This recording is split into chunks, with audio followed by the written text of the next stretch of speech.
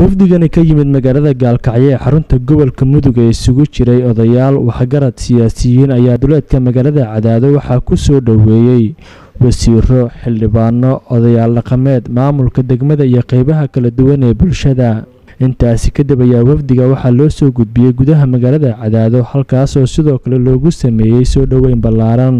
Cumar maxamed diiriyo cumar guureeye wasiir dowlaha wasaaradda arrimaha galmudug ayaa sheegay in cadaado ay ku soo dhoweynayaan waxgaradkan ka socda magaalada gaalkacyo wuxuuna sheegay in cadaado aysan ka socon arrimo liddi ku ah dowlad goboleedka galmudug.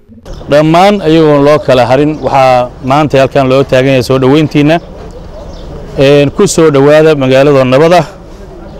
Ku soo dhowaada waa la soconnaa baryaha kan tashuush badan oo laysla dhex marayay galmudug ayaa jira.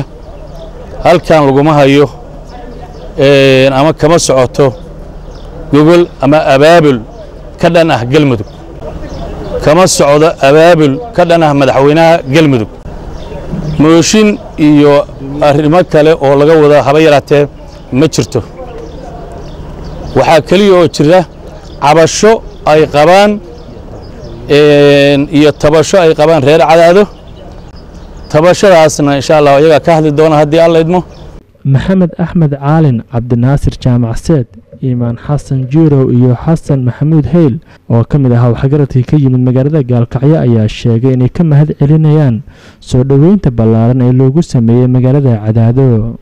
Aad baana uga xunnahay soo daahidda xoogaa aan soo daahnay dadka qorraxda taagnaa ee reer gaalkacyo dhammaan waa ajiibeen ee gogashii aad noo dhigteen insha allahu tacaalaana.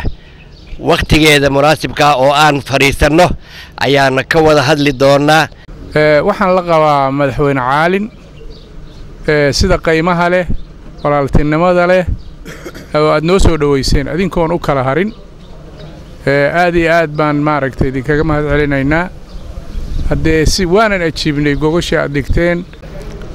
Salaan bacdigeed ilaahay subxaana wa tacaala mahadleh nasuukaayo keenay inaan wixii naga dhexeeya iyo danahayaga iyo walaalnimayada ka hadalno.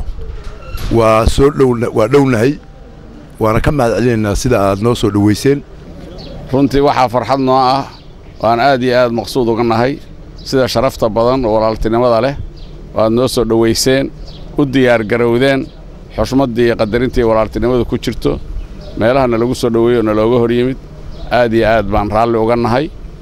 Wafdigan ka yimid magaalada gaalkacyo xarunta gobolka mudug ayaa lagu wadaa in saacadaha soo socda ay kulamo la qaataan.